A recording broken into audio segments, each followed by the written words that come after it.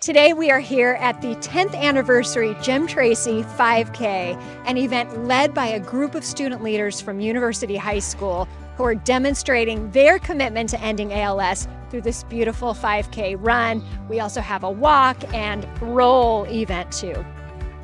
The ALS community is filled with the most compassionate, admirable, courageous, and dedicated group of advocates, volunteers, researchers, medical professionals, patients, caregivers, and staff that I've ever seen.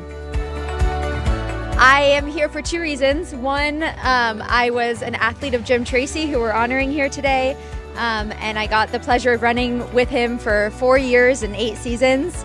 Um, and I also have some family connections to ALS. The Jim Tracy 5K has the best runners, the best walkers, the best volunteers, and the best group of people in any event. So cheers to you.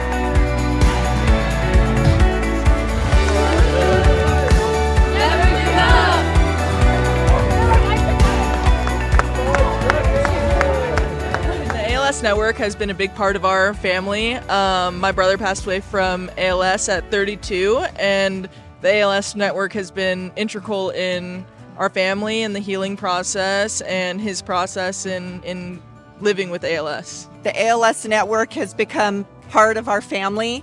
Um, without the ALS network there to support us, the care manager, the groups that we've attended, um, all of the resources available to us, I don't know how we could have made it through.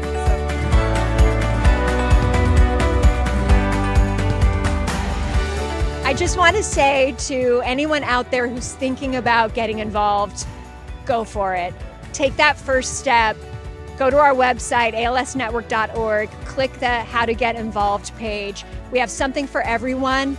You will find a beautiful community of people, the best in humanity, everybody collaborating so that we can cure ALS together. So come join us, be a part of that work. Never give up!